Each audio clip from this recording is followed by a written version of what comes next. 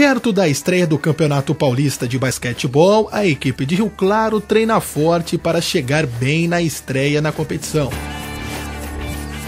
Ao todo foram quatro contratações: os alas Soriani, o norte-americano Broderick e Guilherme, além do pivô Paulão.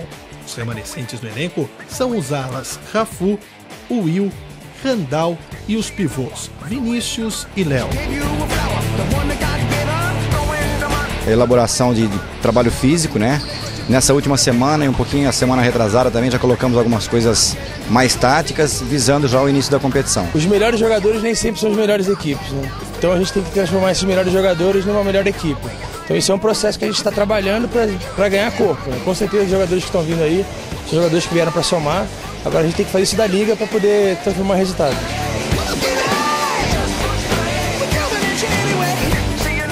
Paulão chega ao time acreditando na força da sua equipe e na expectativa de bons resultados no Paulista. A gente tem todo, todo, todo o potencial, sabe, que pode chegar entre uma final, ser campeão. Eu acho que a nossa equipe é uma das mais fortes aí. A expectativa do treinador Marcelo Tamião é boa, mas alguns ajustes podem ser necessários durante a competição.